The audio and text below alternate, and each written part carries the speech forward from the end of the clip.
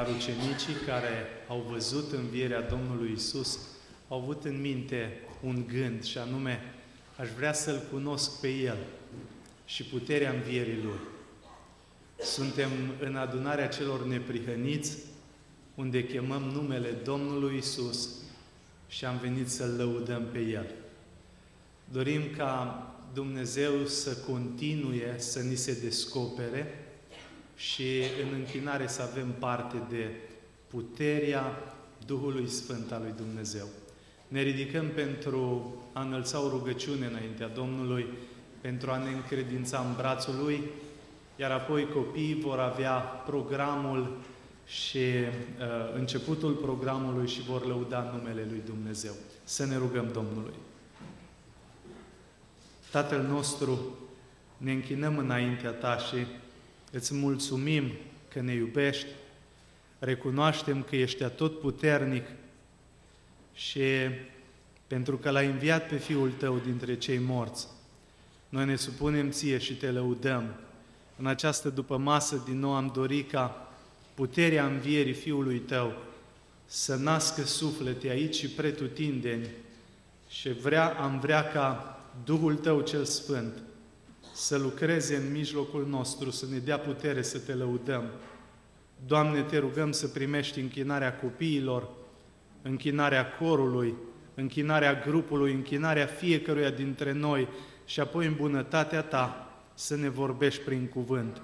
Mărturisim că Te iubim, că suntem ai Tăi și suntem aici ca martori a învierii Fiului Tău pentru lauda Ta. Amin ocupăm locurile.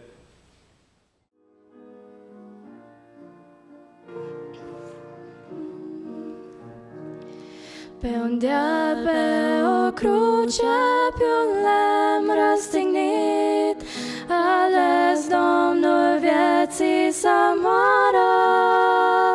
S-a lăsat în piroană bătut, țintuit, purtând a noastră o cară. S-a sfârșit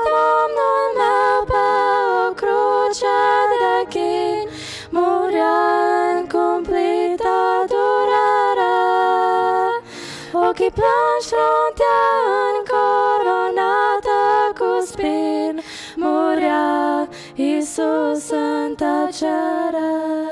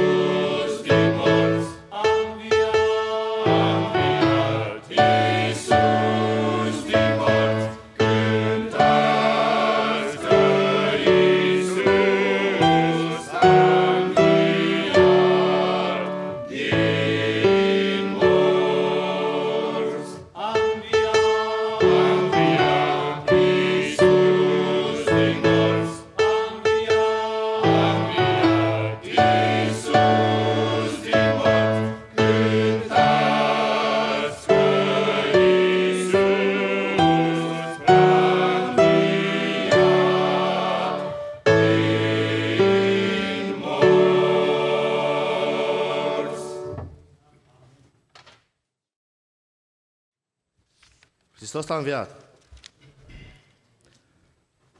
Aseară, după repetiții, fratele Bab mi-a propus să zic un verset. Eu voi zice 14. Din Romani, capitolul 6. Ce vom zice dar? Să păcătuim mereu? Ca să se mulțească harul? Nici de cum. Noi care am murit față de păcat. Cum să mai trăim în păcat? Nu știți că toți câți am fost botezați în Isus Hristos, am fost botezați în moartea Lui?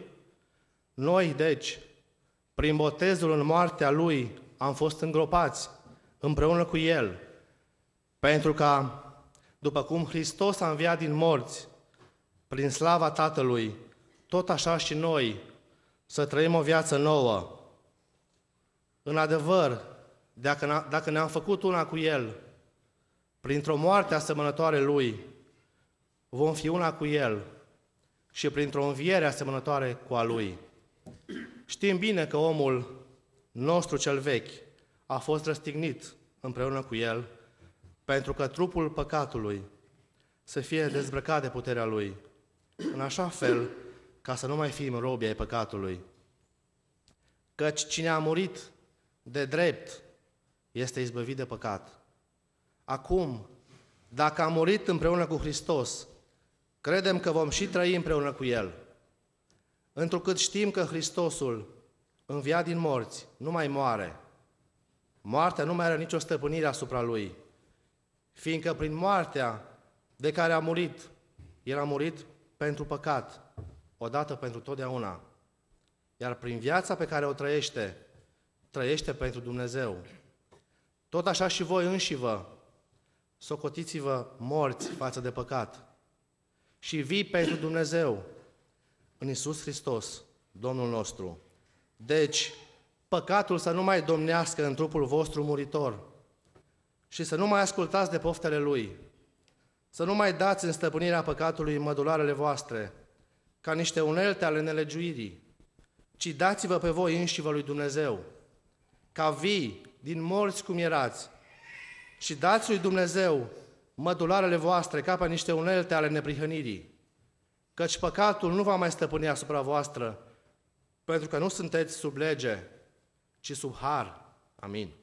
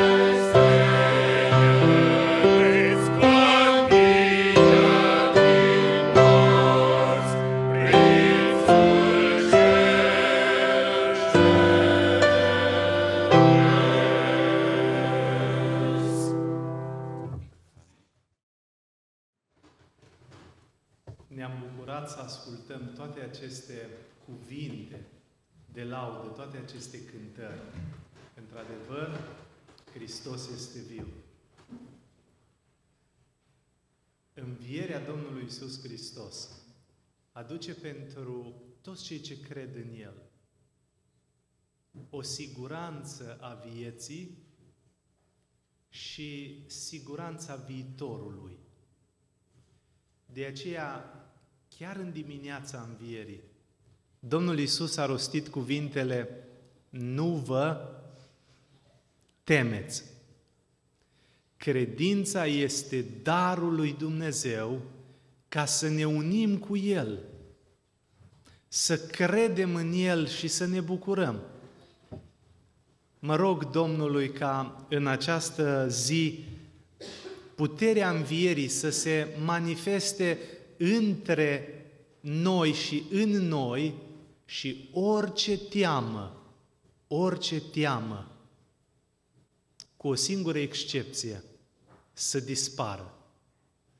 Toate temerile să dispară, iar una bună să se înmulțească cu adevărat.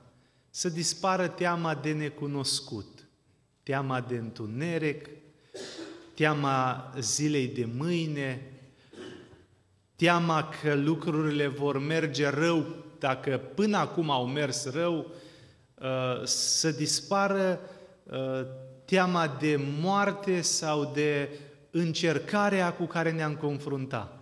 Nu vă temeți, spune Domnul Isus. El e viu, e cu noi și e gata să ne ajute. Primiți acest cuvânt din partea lui Dumnezeu și să dăm la o parte orice teamă, ca sufletul nostru să se bucure și să trăiască în pace. Iar ceea ce se se înmulțească în noi, să fie teama de Dumnezeu. Să ne temem de El ca de un părinte. Toți am crescut pentru că am avut pântece ce ne-au purtat, brațe care ne-au ocrotit și autoritate care ne-a învățat. Și ne-am temut de părinții noștri, dar nu că ne vor omorâ. Mie mi-a fost teamă de uh, oameni de multe ori când eram copil, pentru că atunci când am mai luat bătaie ocazional, pe numai alții m-au scăpat din mâna ăla care m-a bătut, dar de părintele meu nu mi-a fost teamă niciodată că mă omoare. El m-a pedepsit, m-a certat, câteodată m-a bătut, dar eu nu am știut frică de părintele meu că mă va omorâ în bătaie. Teama noastră să fie teama de Dumnezeu, ca teama de acel Tată care se îndură, ne iubește și ne binecuvintează. Domnul să fie cu noi și nicio teamă să nu mai păstrăm în inimă, dar pe deplin teama de Dumnezeu să ne însoțească în această sărbătoare și mai departe în viață.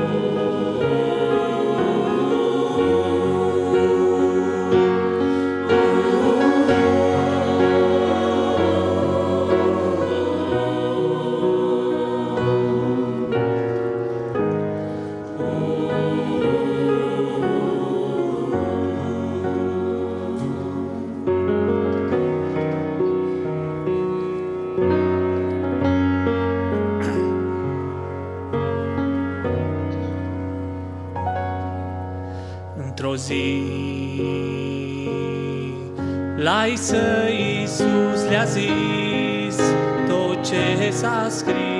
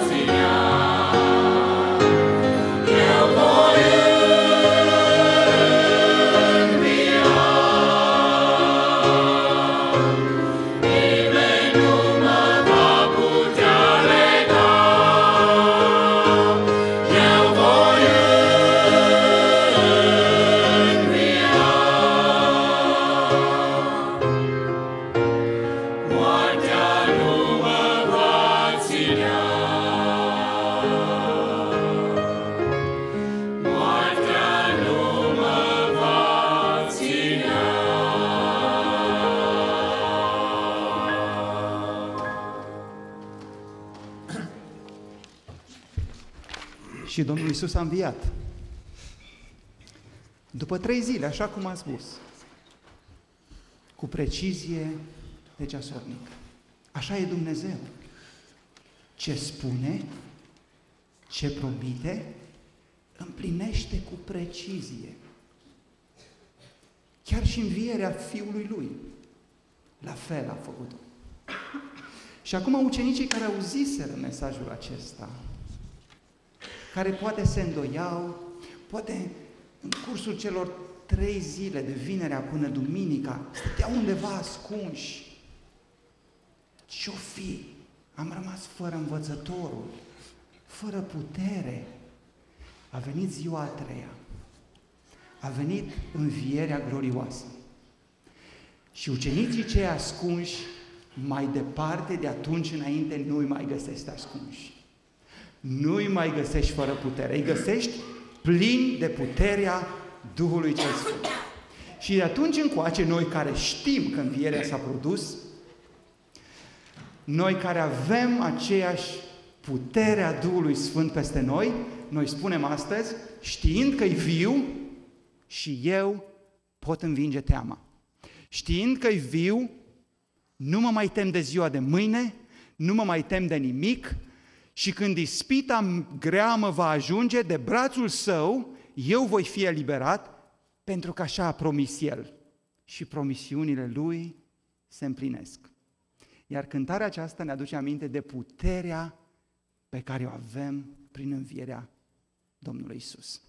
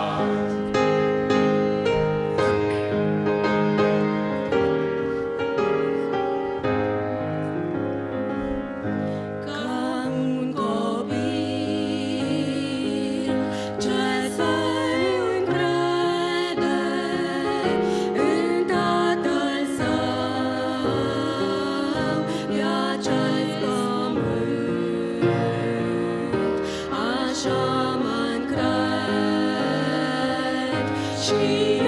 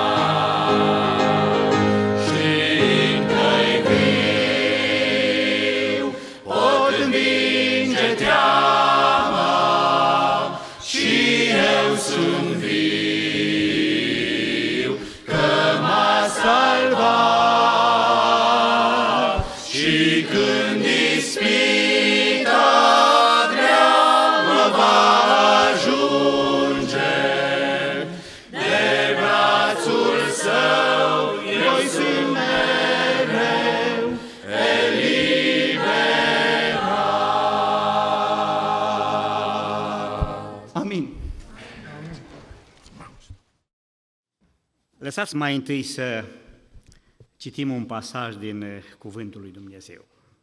Deschideți la Evanghelia după Luca, capitolul 24, de la versetul 36 până la a, 49. Pagina Scripturii, nu, nu e bine, că asta e și, englez, și pe engleză și pe românește și cred că nu se potrivește pagina. Am vrut să spun pagina, dar nu e, nu e numai pe românește. Luca 24, de la 36 la 49. Și așa cum avem obiceiul bun în bisericile noastre, când citim cuvântul, în respect, stăm ridicați pe picioarele noastre. Pe când vorbeau ei astfel, însuși Iisus a stat în mijlocul lor și le-a zis, pace vouă! Plin de frică și de spaimă, ei credeau că văd un duh. Dar El le-a zis, pentru ce sunteți tulburați? Și de ce vi se ridică astfel de gânduri în inimă? Uitați-vă la mâinile și picioarele mele, eu sunt, pipăiți-mă și vedeți, un duh n-are nici carne, nici oase, cum vedeți că am eu. Și după ce a zis aceste vorbe, le-a arătat mâinile și picioarele sale. Fiindcă ei de bucurie încă nu credeau și se mirau, el a zis, aveți aici ceva de mâncare? I-au dat o bucată de pește fript și un fagure de miere. El le-a luat și le-a mâncat înaintea lor. Apoi le-a zis, iată ce vă spuneam când încă eram cu voi, că trebuie să împlinească tot ce este scris despre mine în legea lui Moise, în proroci și în psalmi. Atunci le-a deschis mintea ca să înțeleagă Scripturile și le-a zis, așa este scris și așa trebuie să pătim, trebuia să pătimească Hristos și să învie a treia zi dintre cei morți și să se propovăduiască tuturor neamurilor în numele Lui pocăința și iertarea păcatelor începând de la Ierusalim. Voi sunteți martori ai acestei, acestor lucrări. Și iată că voi trimite peste voi făgăduința Tatălui meu, dar rămâneți în cetate până veți fi îmbrăcați cu putere de sus. Amin. Ocupăm locurile.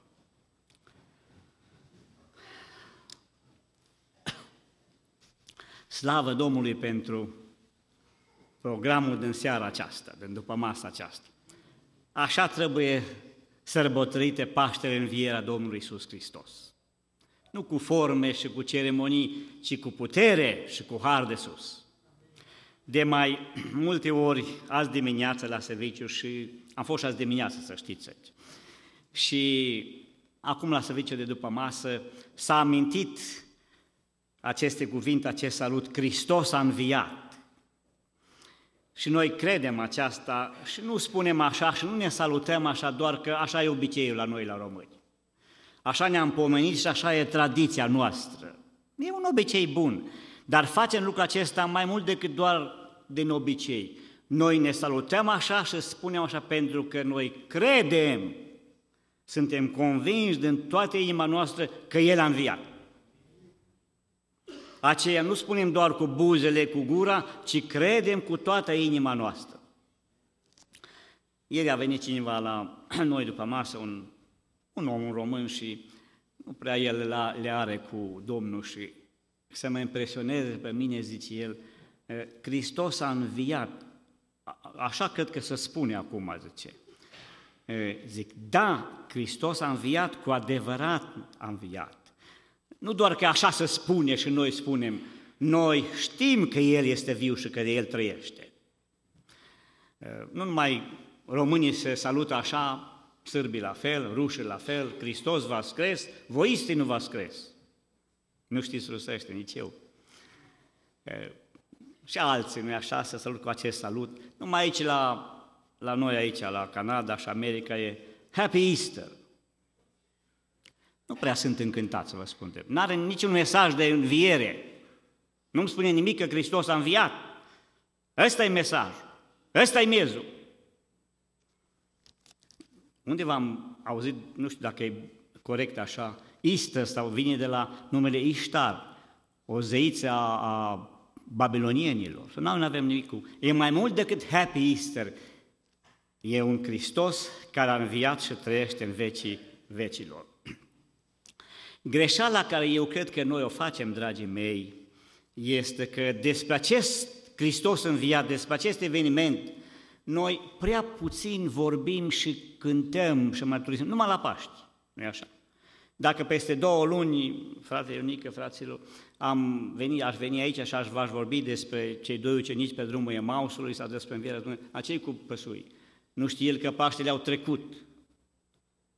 Dragii mei, apostolii Domnului după înviere și după înălțare, n-a lipsit o predică, o mărturie ca să nu amintească lucrul acesta, să nu spună peste tot, în lung și în lat.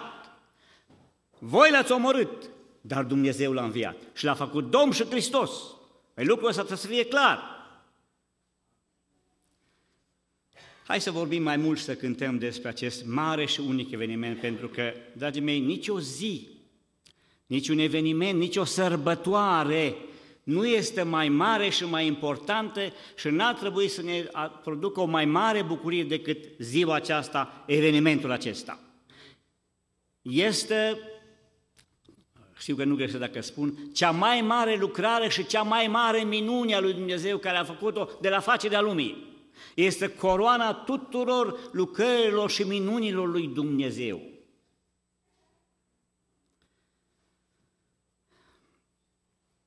A fost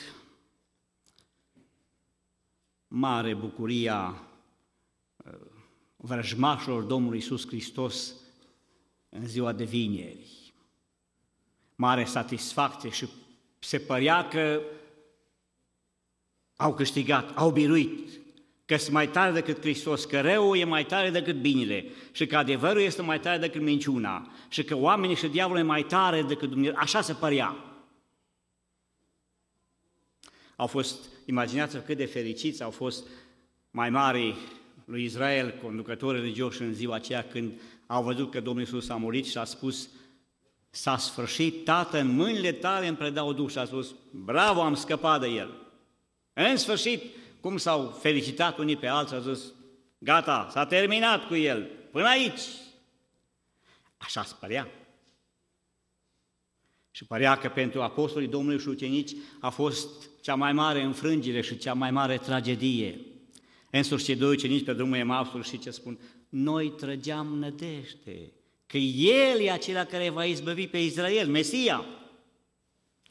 Dar probabil că nădejdea aceasta ne-a înșelat și e îngropată în mormântul lui Iosif din Arimateia. A fost un vis care s-a spulberat, așa se credea. Dar ascultați-mă aici, bucuria și triumful celor răi e de scurtă durată. Se bucură. Știți că s-au bucurat? Știți cât părea că ei au câștigat și au triumfat? Trei zile numai, trei zile. De fapt, probabil nici n-a fost trei zile, mai puțin de trei zile. Atât! Cineva a spus, bucuria celor răi și triumful celor răi este de foarte scurtă, însă tragedia lor este eternă pentru totdeauna. E minunat să auzim într-o zi ca aceasta cântări și poezii despre învierea Mântuitorului nostru. E o cântare, obișnuia corul să o cânte. Cântă popor al Domnului. Mi-a plăcut cântarea aceea. Cântă cu bucurie și saltă de bucurie. Bucurie, bucurie să fie în tot locul. Sus la cântări, sus la cântări, sus la cântări. Creștinismul este religia bucuriei. Ai vorbit azi dimineață despre bucurie. Bine ai făcut. Pentru că Asta este bucuria noastră. Cine are ce avem noi? Nimeni nu are ce avem noi. Nimeni nu se bucură de ceea ce noi ne bucurăm. Numai noi și numai noi. Credem și să observăm învierea Mântuitorului nostru, a Domnului nostru. Vorbea un musulman și un creștin, așa să spune undeva și musulmanii zicea, bă, noi, noi avem mormântul, știm că Mohamed a trăit, e la Meca, acolo mergem și ne închinăm o dată pe an, cum e rânduiala acolo. Și ăsta a spus, dar voi ce aveți, voi ce aveți, zice musulmanul către, voi ce aveți la Ierusalim? Un mormânt gol. Ăsta îi spune, tocmai aici este slava și măreția creștinismului, Noi avem un mormânt gol, Domnul este, este viu, trăiește.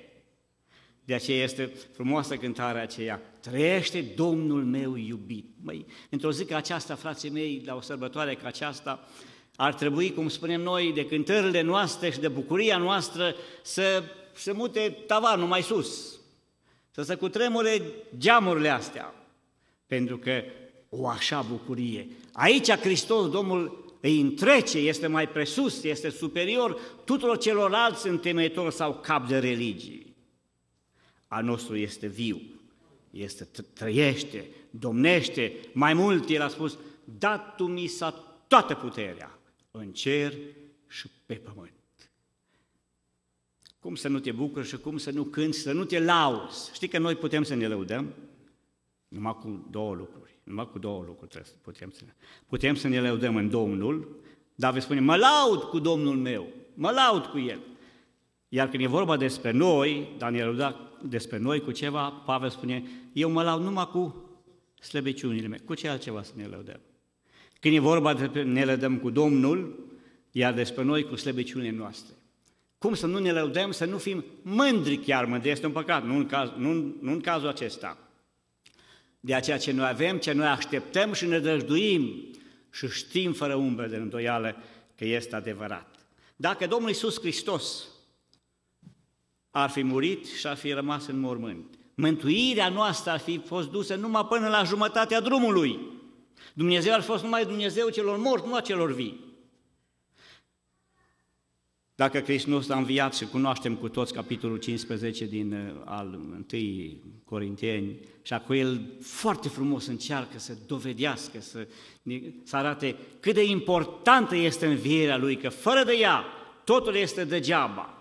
Dacă am înviat, degeaba, degeaba, degeaba, totul este degeaba. În textul care a fost citit, avem aici, de fapt, E primul serviciu de Paști, e primul serviciu de înviere. Tot așa a fost seara, probabil a fost ceva mai târziu. Era deja, să lăsase noaptea, să lăsase întunericul. Primul serviciu de Paști. Cum a arătat primul serviciu de Paști? De înviere. Apostolii s-au adunat pe când erau ei împreună. Adunați textul nostru, spune. Ar vrea să medităm pentru câteva momente la adunarea aceea, la cei care au fost adunați la acest serviciu de Paști, de înviere. Au fost aici apostolii, au fost câteva femei, iar ceva mai târziu sosesc și cei doi ucenici de pe drumul Emausului, care vin, nu așa, plin de bucurie, entuziasmat, cu adevărat a înviat Domnul. Și cum știți? Păi uite ce s-a întâmplat, uite experiența noastră cu El. Aș vrea să ne gândim, să imaginăm atmosfera care a, a dominat la acel serviciu. Știți că orice serviciu se simte, poți să-ți dai seama, cu seama dacă ești aici, atmosfera care este în biserică, ce se petrece, privești la oameni, la fețele lor, la starea lor și îți dai seama dacă e o atmosferă bună, de har, și dacă e una așa mai posomorâtă, mai moale, mai rece, mai fără viață, dacă este viață și har sau dacă nu este. Asta se întâmplă de multe ori la toate serviciile. Ar vrea să vă spun că nu era o atmosferă grozavă. Domnul Iisus, de ce vă tulburați? Era o atmosferă, imaginați-vă, atâtea auzite în ziua aceea, au venit Petru, au venit femeile, le-am văzut, a înviat. Da, voi l-ați văzut, dar noi nu l-am văzut. Căutau o explicație, căutau uh, un răspuns la toate întrebările. Voi le dar nouă să vă arăta și nouă Domnul? Sau numai vouă vi s-a arătat? Erau ca într-o ceață. Fiecare discuta și spunea părerea lui că da sau nu a fost, da, au venit și niște femei de noastre și ne-au spus, da, de ce? Nu, iertați rog, femeile ca femeile, nu pot să le ia după femei, ele niște basme ne-au spus, niște povești ne-au spus acolo. Și fiecare era în felul lui de a gândi și de a crede, da sau nu, a înviat sau nu a înviat. Și era o discuție probabil destul de aprinsă acolo și nu era nimica clar. Era o atmosferă de întristare, de durere, de nesiguranță. Și în timp ce ei discutau și nu știau exact ce să creadă, ce să nu creadă, e așa sau nu e exact așa, textul nostru spune, în timp ce ei au adunat, erau adunat la un loc, a venit Domnul în mijlocul lor. Un musafir, noi ne bucurăm când vin musafiri la biserică. Ne aștepta, dar binevenit. Și a stat unde Domnul Iisus? A venit, s-a pus undeva acolo în spate, dacă mergi la o biserică și nu prea cunoști pe nimeni acolo, te pui undeva în spate, că nu știi cine este. A stat în mijlocul lor. Îmi place expresia aceasta. În mijloc a stat. Știți că ăsta este locul cel mai potrivit de cinste pe care Domnul trebuie să-l aibă de fiecare dată când ne adunăm la serviciile noastre? El să fie centru atenției, spre El să fie îndreptate toate privirile. Să zice despre o soră bătrână, așa cum acum avem tot felul de servicii și s-au schimbat lucrurile și zice, sora a venit acasă și vorbește ea singură. Zice, Doamne, am fost dimineața la biserică, a fost, a fost frumos, a fost bine, a fost și cântare, a fost și predică și de toate. I-am văzut pe toți, și pe păstorul, și pe dirijorul, și pe uh, îngrijitorul, pe toți i-am văzut. Dar zice, nu te-am văzut pe tine, Doamne. Zice. Păi zice, nu te-am văzut că n-ai putut să te vezi de toți ceilalți. Câteodată cam așa se întâmplă. Noi vrem să fim centru atenției, să fim noi văzuți. De fapt, noi trebuie să ne ascundem după crucea lui Hristos. El să se vadă. Și ce a spus grecii de mult, cei greci care au venit, Domnule, am vrea să-L vedem pe Isus. Și asta e important, dragii mei.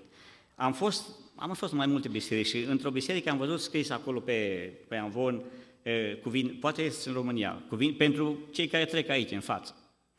E scris așa, am vrea să-L vedem pe Isus. Fii atent, eu, tu, fiecare care trece aici în față. Să-L prezentăm pe Isus, să-L arătăm pe, nu pe noi. Isus a stat în mijloc, acolo, și toate privirile erau îndreptate spre El. Primul lucru pe care Domnul Iisus îl face când vine la primul serviciu de Paști a fost că i-a salutat. I-a salutat. Cred că acum se introduce și la noi în biserici sistemul ăsta. Cred că e bun. Ne salutăm. I-a salutat cu shalom, pace vouă, pace vouă. Ce salut frumos! Cred că lucrul cel mai important de care ei au avut nevoie apostolii, adunarea aceea atât de confuză, atât de nesigură, atât de neclare lucrurile au fost în mintea lor și atât de zbuciumați au fost, era chiar aceasta, pace. Fratele Ionica a spus la dimineață, avem de toate, dar nu avem bucurie. Nu avem nici pace, frate. Nu avem bucurie. Câteodată suntem o slabă mărturie, foarte slabă mărturie despre ce însemnează bucuria mântuirii. Suntem atât de trist și de pali și de ne pe față se vede că nu suntem dispuși. Cineva a spus, părem ca și o lămâie. Dar lămâia nu e chiar așa de... Ce să fac, cum, să, cum să face din lămâie lemonadă? Ce să pui puțin zahăr ceva dulce, ne trebuie zahăr. Ne trebuie, zahărul nu e bun că e artificial, miere, miere, honey, ăla e bun. Și ce a spus Iacov către copiii lui când au plecat a doua ori la omul acela după grâu în Egipt, nu știa că e Iosif. Luați cu voi și puțină miere. Ne duceți asta la omul acela, dar luați și puțină miere. Ne, ne trebuie miere, frații mei, de multe ori. Suntem ca o, ca o lămâie din asta, acri. Și de parcă să prăbușește tot. Și uităm că avem un Dumnezeu care este viu, care trăiește. Am spus, religia creștinistă este, este religia bucuriei, a bucuriei. Câteodată așa suntem de descurajați și așa părem de de parcă s-a prăbușit toată lumea aceasta. Iisus a stat în mijloc și le-a spus, pace vouă!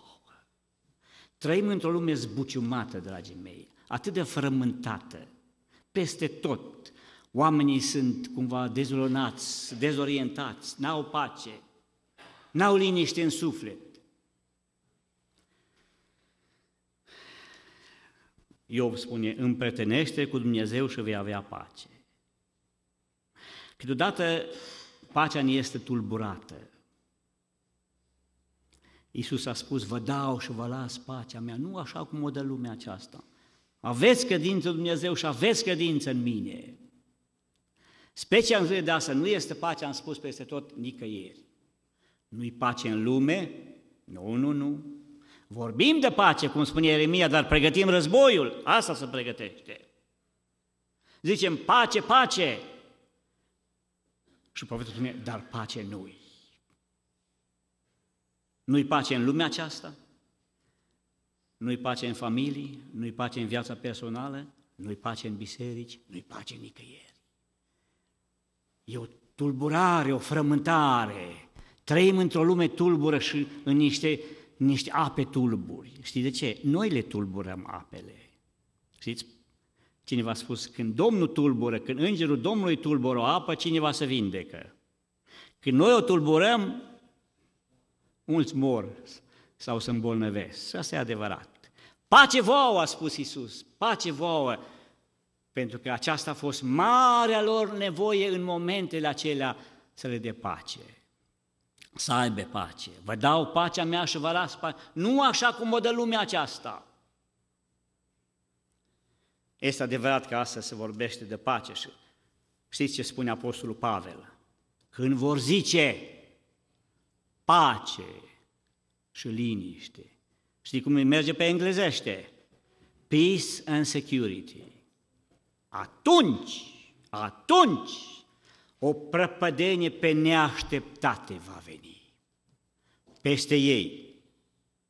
Peste ei, nu peste noi.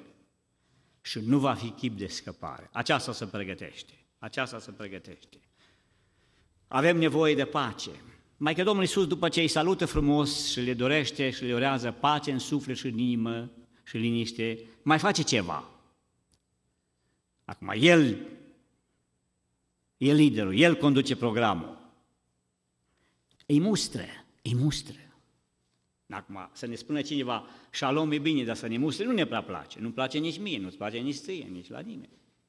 Și totuși mustrarea este parte de a fi copilul Dumnezeu și de a crește lângă Domnul, așa cum a spus Ationică, părintele mustră, câteodată mai pedepsește mai tare, copiii, dar e ceva strict necesar fără care nu se poate. Iisus îi mustră și spune, de ce vi se ridică astfel de gânduri în inimă? I-a mustrat, spune Marcu, pentru îndoiala și necredința lor. Probabil că Domnul de câte vor pe zi, câteodată ar trebui să ne mustre și să spune, puțin credinciosule, puțin, de ce te-ai înduit? Pentru necredința noastră, pentru îndoiala noastră.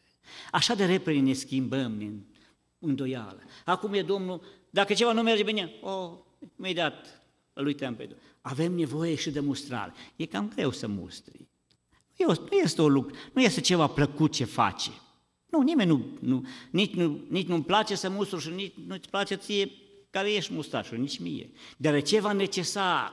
Iisus n-a trecut peste asta și a zis, voi sunteți ok, e ok, everything ok, lasă. Așa e astăzi. You are ok, I am ok, everybody ok. Toți suntem ok. A nu-i totdeauna ok. Nu-i. Și ăsta e adevărul. Câteodată e nevoie de mustrare. În familie, la copii și în biserică. E clar și cunoaștem cu toți cuvântul acela care spune pe cine Domnul iubește, îl pedepsește, adică îl disciplinează, îl mustră. Dacă un copil al meu, acum ei sunt duși, a făcut ceva rău, nu l-am lăsat, hop, stai, depinde ce a făcut, trebuia să iei măsuri. nu e așa? Dacă altul care pe stradă nu m-a interesat, eu nu știu cine e, n-am, nu-i datoria mea. Așa e pe cine, de ce l-am mustrat pe copil, de ce l-am disciplinat, îl iubesc, îi vreau bine. Și exact Pavel spune la Evrei, capitolul 12, unde acolo, pe cine Dumnezeu îi iubește mustre și părinții au făcut aceasta pentru binele nostru, să îi susi mustre. Puțin credinciosule, de ce te-ai îndoit, de ce vi se tulbură inima, de ce i-a mustat? Pentru că n-au crezut ce le-a spus raportul femeii și a lui Petru. N-au crezut. N-au crezut tot. După ce Domnul Iisus rezolvă problema cu salutul și mustrarea care trebuia să le-o spună, să atenționeze, că sunt wrong, că nu e bine, Iisus trece la partea cea mai importantă, la cel serviciu, partea cea mai importantă. A început să le deschidă Scripturile, să interpreteze și acum vine predica, acum vine predica, studiu biblic, studiu biblic, școala duminicală, cum vrei să o numești. Și spune, acum, după ce am rezolvat asta, trecem la cuvânt. Cuvântul e important, dragii mei, e foarte important. Și Isus începe să le deschide Scriptura și să le deschide inima. E un curs biblic, așa unul intensiv. Lucrul acesta a făcut cu cei doi pe drumul Emausului și acum face cu ei. Le-a deschis mintea, le-a deschis inima și le-a deschis Scriptura. De ce trebuie cineva să ne deschide mintea și Scriptura să înțelegi? Pe ce nu avem noi, nu știm să citim, nu știm să avem școală, avem educație, avem unii mai mult, mai puține, noi doctori, super doctori, ta, ta, ta. Foarte bine, slavă Domnului pentru toți ăștia. Dar eu și tu și noi avem de-a face aici nu cu un manual de nu știu ce, cu, avem de-a face cu cuvântul lui Dumnezeu. A că autorul acestei cărți este Dumnezeu. Și dacă El nu vine să-ți deschide mintea, să-ți lumineze și Scripturile, și mintea, și ochii să înțelegi, poți să citești cât poți să citești, dar n-ai să înțelegi și mai mult ai să interpretezi greșit Scripturile. Știți că unii interpretează greșit Scripturile? Domnul trimite pe Îngerul Gavril la Daniel, om prea iubit și scump. Și îi spune, Daniel a spus, Doamne, înțeleg din Scripturi așa, din, din prorocii, că e vremea să ne întoarcem acasă, din robia Babilonului și gata, s-a terminat. Și vine Îngerul Gavril spune, Daniel, om prea iubit și scump, am venit cu un scop. Care a fost scopul? Să-ți luminezi mintea, ca să înțelegi. Asta e pentru păstori. Pentru păstori mai întâi. Pentru Sunday School Teachers și pentru alți. Când studiem, nu, eu știu, știu că știi. Și totuși ai nevoie să vină Duhul Dumnezeu să-ți lumineze, să-ți deschide Scripturile și când începe El, exact se întâmplă ce s-a întâmplat cu cei doi ucenici pe drumul Emausului după aceea, spune după aceea când Iisus dispare la frângerea pâinii de El. Nu ne ardea nouă inima când ne-a destăinuit El Scripturile. Aici nu, nu începe când se deschid ochii, începe să ardă inima. Până atunci nu nimic. Poți să fii un bun orator, dar nu să interpretezi corect Scripturile. Iisus le-a deschis Scriptura și a spus, înțelegeți, așa trebuia să sufere Hristos și trebuia să se împlinească tot ce a fost scris despre El. Știți că pentru un evreu, și apostolii, numai după înviere, când le-a interpretat, el a interpretat Scriptura, au acceptat faptul că Hristos trebuie să sufere. Pentru un evreu, Mesia să sufere era out of question, cum zic ăștia. Era de neconceput. Știți când Domnul Iisus pentru prima dată îi spune acolo că fiul omului va trebui să sufere și Petru imediat, un om curajos. Zice, ia vină tu aici, am văzut-o încoace. Să te ferească Dumnezeu, tu să mori, că tu ești Mesia, nu ți-am spus că tu ești Hristosul, Fiul Dumnezeului celui viu. Și ce, ce vorbești? Ce vorbești asta? Și Domnul spune, înapoi, Hristos trebuia să sufere Trebuia. Sunt lucruri care trebuie, frații mei. Trebuie. Scriptura spune aici că Scriptura trebuie să se împlinească. Cel mai mare adevăr. Cerurile și pământul vor trece. Cuvântul meu. Dumnezeu veghează de sus în ceruri să se împlinească cuvântul lui. Cine v-a spus că la cântarea voastră, nu așa? Ce Dumnezeu spune cu precizie, la milimetru, la secundă să împlinești. Nu-i voie o iotă să rămână neîmplinit. Și apostolii n-au înțeles lucrul acesta. Înțelegeți voi? Trebuie să se împlinească Scriptura. Trebuie! Tot ce a trebuit până acum, dragii mei, să se împlinească din s-a împlinit exact. Și tot ce rămâne să se împlinească de, de azi încolo până la sfârșit, se va împlini. Literă cu literă, nimic nu-i voie să rămână neîmplinit. Domnul spune că eu, după cum ploaia vine și udă pământul și face să crească sămânța, să aducă, tot așa, tot așa și cuvântul nu se întoarce la mine gol. Noi câteodată, și eu, când citim, chiar așa, chiar așa să fie, măi, chiar așa, cum scrie. E chiar așa. Și mai mult decât atât, mai mult decât înțelegem noi, Hristos trebuia să sufere. Scriptura trebuie să se împlinească și să va împlini. A fost, tare aș fi dorit să fi fost la, la acest, la acest uh, studiu biblic, la acest curs, probabil cât a durat vreo o jumătate de oră, o oră, când Domnul Iisus destăinuie, interpretează, descopere Scripturile și probabil că o ia Moise,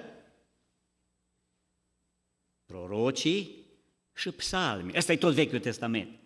Acum trebuie să fii mare expert și mare profesor ca într-o oră să treci, să parcurgi numai prin întreg Vechiul Testament, cum spun eu, să fie scurt și bun. Și toată lumea să înțeleagă, spune, Aleluia! Așa ceva n-am mai auzit. Hristos a fost învățătorul și într-o oră el le destăinuie Scripturile și ia probabil de la Genesa toate simbolele care au fost acolo, prototipurile care au fost acolo, icoanele acelea simbolice preînchipuitoare, imaginile acelea și merge rapid prin toată Scriptura și odată la apostolii se deschide mintea și spune, wow, ce grozav, ce minunat! Și înțeleg tot planul lui Dumnezeu, de la început și până la sfârșit. Domnul să ne ajute, frații mei, ca și noi să putem face așa. Domnul să ne deschide mintea și Scriptura și inima. Și Domnul Iisus, eu nu știu câte oră, n-am ceas, dar e bine. Mai face un lucru, după ce le deschide Scriptura și învață, noi am petrecut patru ani la, la seminar, eu mai de mult la sâri, voi la români. Mai în patru ani ai învățat ceva, trebuie să înveți ceva. Dar dacă ai fi fost la cursul acesta biblic intensiv a Domnului Isus Hristos, aș fi învățat mai mult decât toți în cei patru ani. Cu câtă înțelepciune, cu câtă maestate Domnul se prezinte și convinge și trece de una la alta, de una la alta și spune, asta e planul lui Dumnezeu. Hristos trebuia să sufere. Dar Domnul Iisus mai face un lucru înainte ca să încheie serviciu vrea să-i convingă că El este cu adevărat, că El a înviat cu adevărat, că este, învierul este o realitate, că nu-i duc, că nu-i nălucă, că nu-i fantezie, că nu-i închipuire, că nu-i ceva, acum, acum îl vezi, acum nu-l vezi, acum îi pui mâna, acum nu mai poți să-l atingi. It's real! Ei toți se uitau și el știa ce gândul se ridică în inima lor și zice, nu, nu, nu sunt duh, nu sunt imagine, sunt real, adevărat. Ia veniți încoace, pune mâna, atingeți-mă, pipăiți-mă. Am și carne și oase. Și el spune, un duh nu are. E creat din alt material, din altceva. Un duh nu are nici, nici carne, nici oase. Nu știu ce are, nu am avut de face cu asta, dar nu-i ca noi. Nu-i, nu-i din carne și oase. Iisus spune, un duh nu are carne și oasă, eu am și carne, eu am înviat, eu sunt Iisus care am fost pe cruce, eu, really, puneți mâna aici, faceți proba. Știți că câteodată, cum a spus Toma, până nu pun mâna și până nu pun degetul, până nu mă conving eu, poți să spui tu cât vrei, dar eu vreau să pun mâna acolo. Așa suntem noi oameni. Și ăștia la, la, pune mâna, la atinge pe omul și spune, mai facem încă o probă. Aveți ceva de mâncare. Aveți ceva de mâncare. Avem aici niște pește, niște unfaguri și mănâncă în fața lor. Și de ce Domnul Iisus a, a, a rămas pe pământ încă 40 de zile după înviere? Putea să înalțe imediat. N-a fost nicio problemă. Jertfa a fost acceptată. E pentru că timp de 40 de zile în mai multe locuri, în mai multe rânduri, la mai mulți s-a arătat viu prin dovezi.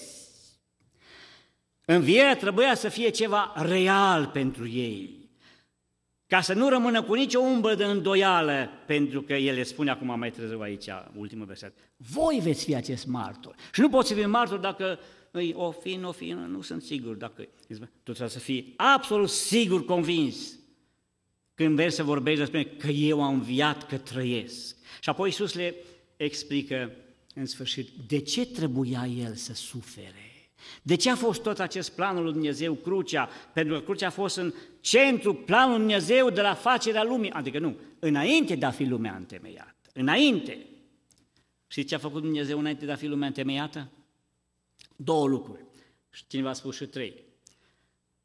Hristos a fost mielul junghiat înainte de a fi lumea întemeiată, iar pe noi ne-a ales în Hristos înainte de a fi lumea întemeiată. Nu înțelegem noi asta, dar credem.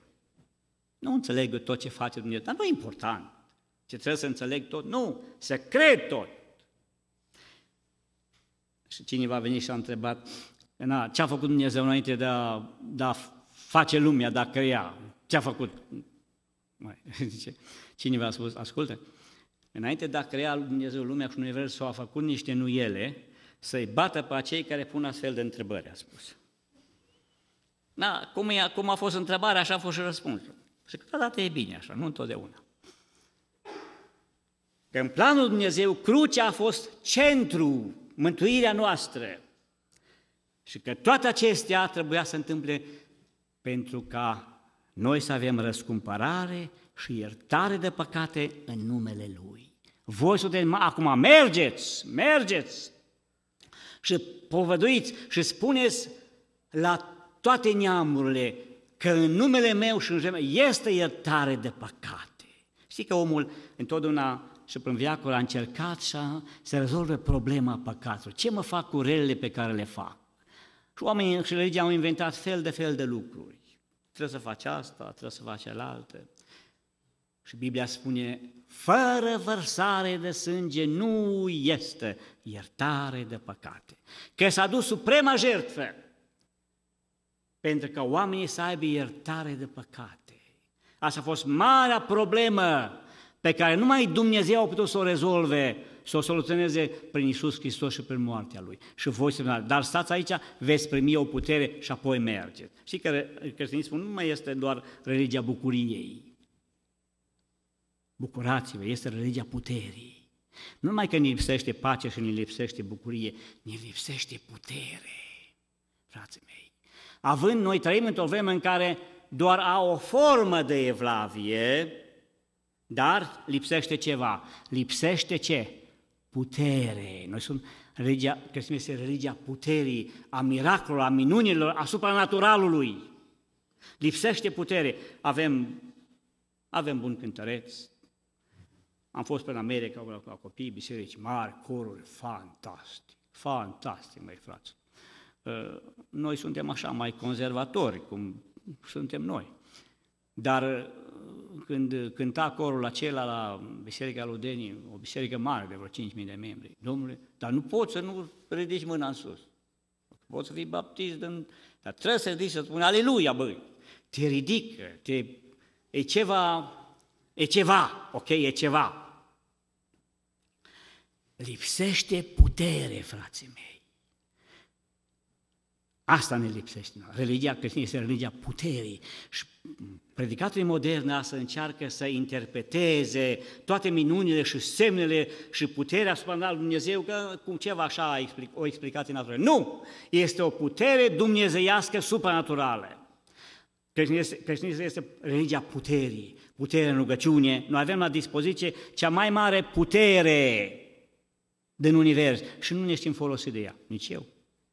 E puterea rugăciunii. E rugăciunea o putere? E? Unde scrie? Tăceți voi acolo. Unde scrie? Re rugăciunea o putere? așa e. Știu că unii știți. Mare putere are ce? A celor? Așa. Ei, aici e secretul. Mare putere are rugăciunea. Și îl dă pe Ilie ca exemplu. Pat, închide cerul, pat, deschide cerul, cât? Trei ani jumătate. Cineva a spus, Ilie a fost cel mai bun meteorolog care a existat vreodată în lume. A spus weather, weather-ul, vremea, prognosticul, pentru trei ani jumătate odată. Da, mă, Iisus. Ăștia fac pentru o săptămână al mult, două, și cam greșesc. Ilie a spus, trei ani jumătate, nu ploaie, nu rouă, nu nimic, gata. Am închis. Mare putere, are rugăciunea fierbinte. Mai avem o putere, frații mei, de care nu ne folosim. Evanghelia. Mie nu mi-e rușine de, pentru că este puterea lui Dumnezeu. Avem o cântare care spune, e putere, puterea ce minuni face în sângele lui Isus. E puterea Duhului să vezi primă putere și apoi mergi mai departe. Vreau să închei aici. Frații mei, e bine să îl invităm pe Domnul Isus la serviciile noastre. Și când îl invităm, și știu că dorim lucrul acesta, fără de el suntem doar o adunătură de oameni aici, o organizație, nimic altceva. Cu el, cu prezența lui, suntem biserică. Unde sunt doi sau trei, acolo sunt și eu. Unde el este, este biserică. Să vină la slujbele noastre, la serviciile noastre. Fie că îl, îl, îl numești worship, cum îi zice? Worship în, cum? Praise, praise and worship, așa. Fie că îi zici praise and worship, fie că îi zici serviciu divin, cum ne-am crescut noi, să vină El aici. Și când vine, frații mei, toți să avem grijă, să fim atenți, tot, toată lumea aici. Toate privirile să fie îndreptate spre El. El la mijloc. Să-L vadă lumea pe El, să nu-L vadă pe păsui, nici pe Nicu, nici pe Ionică pe El să-L vedem în cântare, în poezie, în totul. Să ne aducă pace, frații mei. Ne frământăm, ne zbuciumăm. Tare rău. Cavarule mării acestea. Știți cântarea aceea frumoasă? E bine să o cântăm. Pace, pace, ce dar scum și minunat. Mai dulce nici nu poate fi ca pacea pe care o dă El. Numai El poate să dea pace. Și spune într-un loc profetul, dacă dă El pacea, cine o poate lua? Și dacă El nu dă pace, nu-i nimic. Și prin cei care stau în fața noastră să ne interpreteze El Scripturile corect. Corect să ne interpreteze. Și apoi putem fi martori adevărați să ne bucurăm de înfierea Lui. Domnul să vă binecuvânteze și să ne ajute să îl așteptăm cu bucurie și să fim pregătiți pentru aceasta. Amin. Poftiți, frate Ionic. Am cântat și am vorbit mult despre cântare. Aș reaminti un cântec. Ora e trecută, noi am isprăvit. Tatăl, Fiul, Duhul, fie proslăvit. Am ajuns la încheiere și vreau să spun uh, pentru fiecare că m-am bucurat să vă văd și ne-am bucurat să fim împreună în casa de rugăciune. Cuvântul lui Dumnezeu spune că aș vrea să-L cunosc pe El și puterea învierii Lui. Rămâne această dorință centrul, în centrul ființei noastre. Și știm că va veni acea zi în care puterea învierii Lui va învia și trupul nostru și ne va duce acolo în slavă, să fim împreună cu El în veșnicie. Până atunci ne bucurăm de uh, puterea de transformare a vieții, e un lucru real. Ne bucurăm de puterea de vindecare, uh, binecuvântăm pe Domnul Isus că a vindecat-o pe sora Mariana și piciorul ei poate să meargă acum spre casa lui Dumnezeu. O așteptăm întotdeauna în mijlocul adunării și ne bucurăm să fim împreună.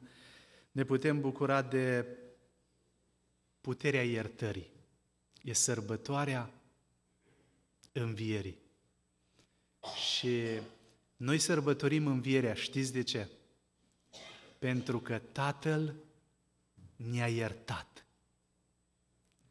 Dumnezeu este Dumnezeu pentru că are în natura Lui puterea de a ierta. Nimeni n-a greșit mai mult în fața Tatălui în creație cum a greșit omul. Și în ființa noastră, în ființa noastră, avem puterea răzbunării. E ceva de neînțeles. O forță nebună de a spune cuvinte care să ucidă și de a ne ridica împotriva oamenilor ca să ne facem dreptate. Dar oare Dumnezeu n-ar fi avut așa o putere? Cu siguranță că da. Dar cea mai mare putere este puterea iertării. Există înviere pentru că Tatăl, Creatorul, a iertat omul care l-a păcătuit și a zis, fiule, dă minima ta. Să-mi aduc prezența, să aduc pacea și să așez puterea. Slăvit să fie numele Domnului. Încheiem prin cuvintele Dumnezeul oricărui har, care v-a chemat în Hristos Iisus la slava sa veșnică. După ce veți suferi puțină vreme, ascultați, vă va desăvârși, vă va întări, vă va da putere și vă va face neclintiți. A Lui să fie slava și puterea în vecii vecilor. Amin. Ne ridicăm pentru rugăciune.